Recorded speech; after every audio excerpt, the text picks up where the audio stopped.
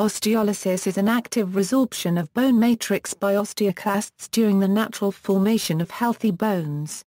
Osteolysis can be seen as the reverse of ossification. Osteolysis often occurs in the proximity of a prosthesis that causes either an immunological response or changes in the bone structural load. Osteolysis may also be caused by pathologies like bone tumors, cysts, or chronic inflammation. In joint replacement, while bone resorption is commonly associated with many diseases or joint problems, the term osteolysis generally refers to a problem common to artificial joint replacements such as total hip replacements, total knee replacements and total shoulder replacements. Osteolysis can also be associated with the radiographic changes seen in those with bisphosphonate-related osteonecrosis of the jaw. There are several biological mechanisms which may lead to osteolysis.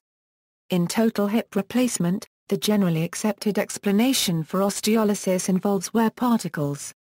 As the body attempts to clean up these wear particles, it triggers an autoimmune reaction which causes resorption of living bone tissue.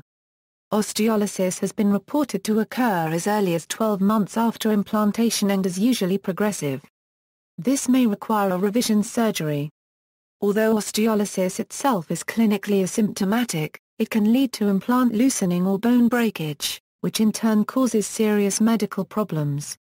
Distal clavicular osteolysis Distal clavicular osteolysis is often associated with problems weightlifters have with their acromioclavicular joints due to high stresses put on the clavicle as it meets with the acromion.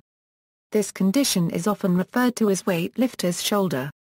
Medical ultrasonography readily depicts resorption of the distal clavicle as irregular cortical erosions, whereas the acromion remains intact. Associated findings may include distended joint capsule, soft tissue swelling, and joint instability. A common surgery to treat recalcitrant DCO is resectioning of the distal clavicle, removing a few millimeters of bone from the very end of the bone. References